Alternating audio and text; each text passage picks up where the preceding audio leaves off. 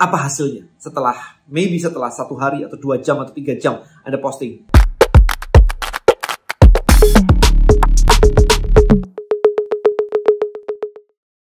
Konten Creator Black Book. Buat konten, hasilkan income. Temukan rahasianya di contentcreatorblackbook.com.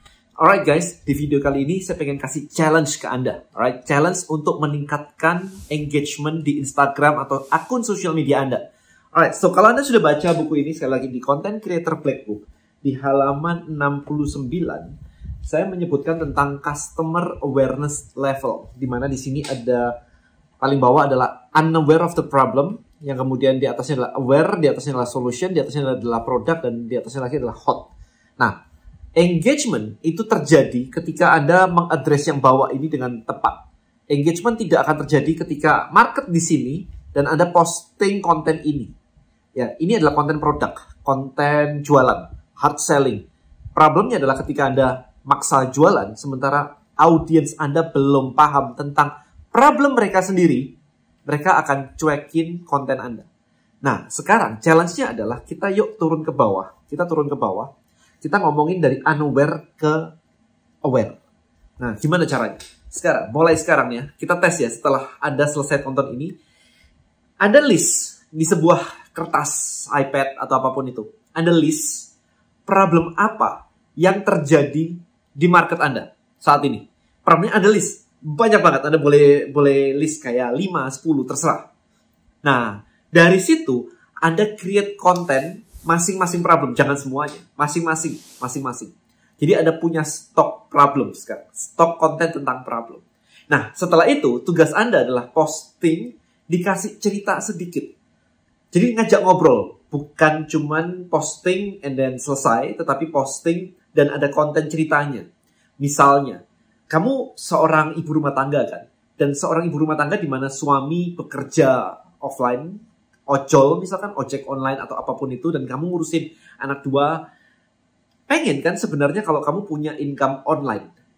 Nah sekarang, apa saja income-mu yang sekarang kamu sudah dapat? Atau kamu cuma di rumah nggak ngapa-ngapain aja? That's it titik. Gitu aja itu satu. Jadi di kepala mereka langsung punya problem iya ya. Kayaknya lebih seru kalau aku bisa punya income online misalnya kayak gitu. Or misalkan tentang skincare.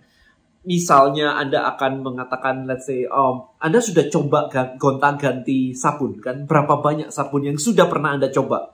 Ada satu ada dua ada tiga ada lima ada sepuluh. Dan masih kering juga kan? Kayak gitu tuh enak gak sih sebenarnya? Kan gak enak ya kayak gampang jerawatan apa pun lah ya. Ada ada lebih tahu problemnya. Saya ini cuma ngasal tadi. Misalnya ada di insurance gitu. Apa yang jadi problem?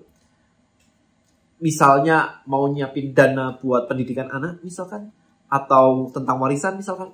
Apa yang jadi problem? Jadi posting tembak problemnya biar mereka mikir dan harus ada harus ada pertanyaan. Di ujungnya harus ada pertanyaan.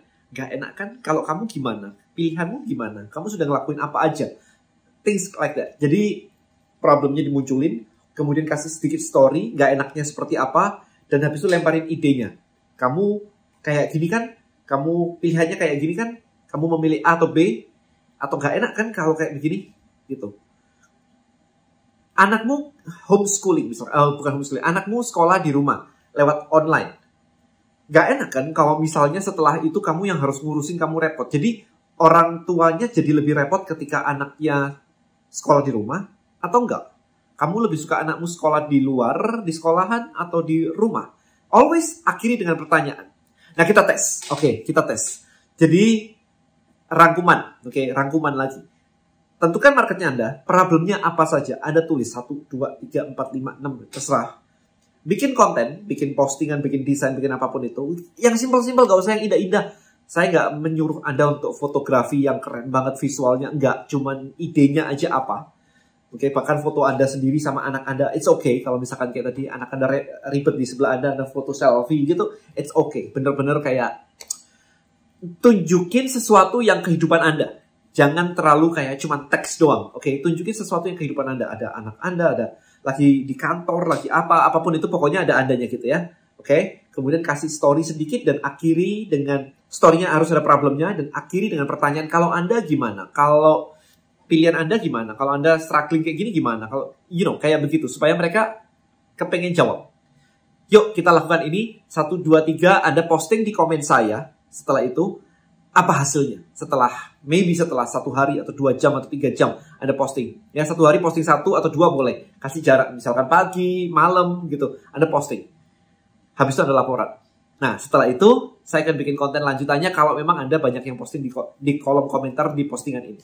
Alright, thank you so much. See you in the next video. Bye-bye.